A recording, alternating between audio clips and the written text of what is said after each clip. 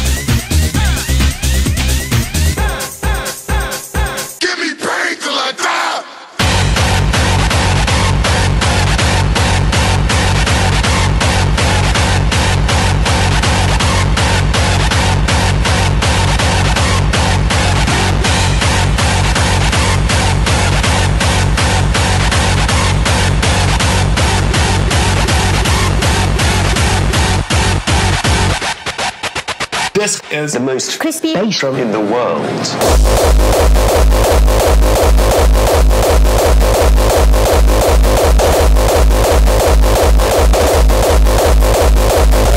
crispy Bass drum.